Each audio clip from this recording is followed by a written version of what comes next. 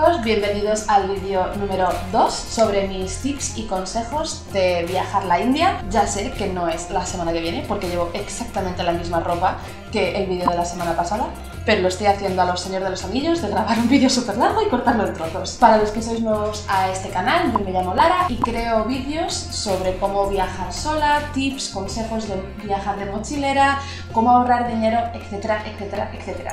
Si estáis interesados en estos temas, suscribir y darle al botoncito de notificación para que os avise cuando subo un vídeo, que suele ser los viernes. Así que vamos a la segunda parte del vídeo. Yo recomiendo que la India lo hagáis cuando tengáis tiempo suficiente para hacerlo en condiciones.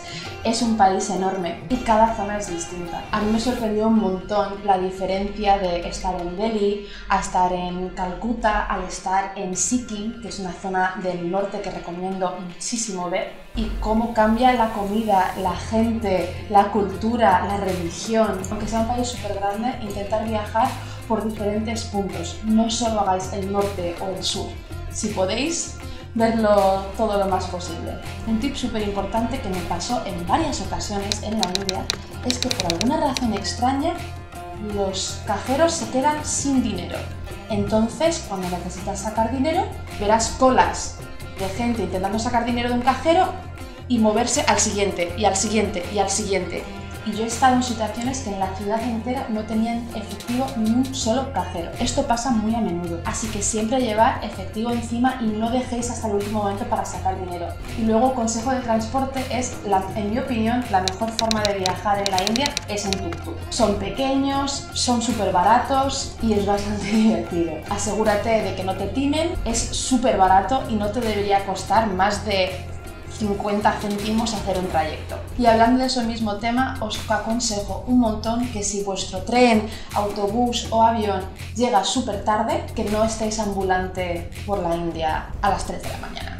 Pillaros un tuk y con el tema de seguridad, especialmente si estáis viajando en trenes, os recomiendo que con un candado atéis vuestra mochila a la parte de abajo de vuestro asiento. Esto puede sonar como una tontería, pero especialmente si estás viajando solo y quieres ir a mear, ¿qué te crees? ¿Que alguien que tiene mil veces menos dinero que tú y ve la oportunidad de robarle un macuto a un guiri no lo va a hacer? Yo y mi amiga tuvimos una muy mala experiencia en uno de los trenes que metían la mano en las ventanas del tren desde las vías y por ahí robaban todas las mochilas de la gente. Ponerle candado a vuestras mochilas. Y este uno divertido, bodas indias. Os recomiendo, que yo creo que todo el mundo os lo recomienda, y una boda india. Y es que es fácil, yo lo tenía en mi lista de cosas que hacer, de yo a la India no me voy hasta que vaya una boda india. Ellos suelen tener como 5.000 invitados y para ellos el tener unos guiris es parte de la experiencia y parte de la diversión.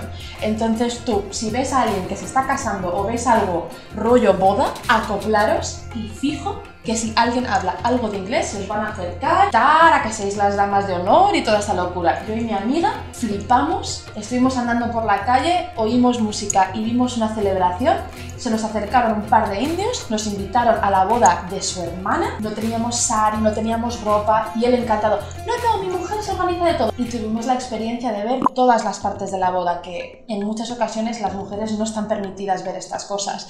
Y nosotros por guiris nos dejaron si tenéis la oportunidad, aprovecharla. Ahora con lo que tienes que tener cuidado en la India. Me sorprendió, pero esto pasó en muchas ciudades. Se te acercan mujeres con bebés diciendo que no quieren tu dinero, que solo quieren que les compres leche para su bebé. Obviamente, tú estás en esa situación y quieres hacer eso. Te llevan a la tienda y piden que compres leche en polvo. Este típico leche deshidratada que te vienen en bolsitas que ni se usan para los nenes. Y es porque es uno de los productos más caros que puedes comprar allí. Y lo que haces, compras el producto y ellos vuelven a la tienda, lo venden y sacan dinero. Obviamente tú puedes darle de todo, comida, dinero a todo el mundo que tú quieras. Es solo que seas consciente que también se aprovechan de eso e intentas sacar tu dinero por todas partes. Otro consejito que os puedo dar, de nuevo también un poco más para las pavas, es no sacaros fotos con chicos. sé que esto suena un poco radical, yo al principio de mi viaje me saqué 50.000 selfies, que lo único que saben decir es selfie.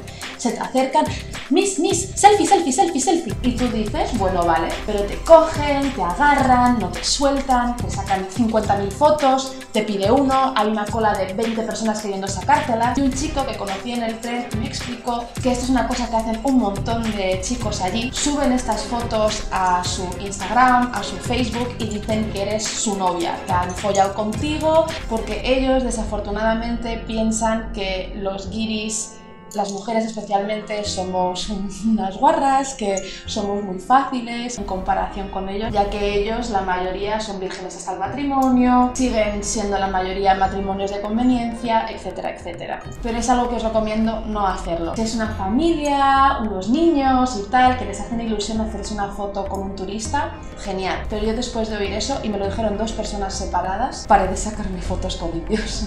Uno de los sitios más visitados de la India, obviamente, es el Taj Mahal, que en español Taj, Taj Mahal, que es una de las siete maravillas del mundo y todo el mundo quiere ir a verla. Si vais, ir por la mañana.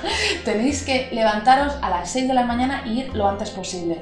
A, porque está absolutamente petado de gente y esa típica foto bonita en plan ahí en el centro del Taj no vais a poder sacarosla. B, el calor es horrendo. O sea, ¿tú sabes lo que es estar ahí a los 50 grados a la una de la tarde? Locura absoluta. C, las colas. Tú puedes estar en una cola de 3 horas esperando a comprarte tu entrada para ir a verlo. Y mi último consejo en este episodio número 2 de Consejos y Tips con Lara es hablar con los locales. Yo antes de ir a la India, si te soy sincera, era bastante ingenua. No tenía ni idea sobre, bueno, un poco, pero casi nada eh, sobre el tema de las castas, sobre cómo funcionaba su religión, o en qué creían, qué pensaban, cómo veían el mundo extranjero, si eran machistas o feministas, si eran felices. Y eso no hay vídeo de YouTube que te lo vaya a explicar y estando en un hotel y yendo en un super taxi turístico y sacando fotos a monumentos,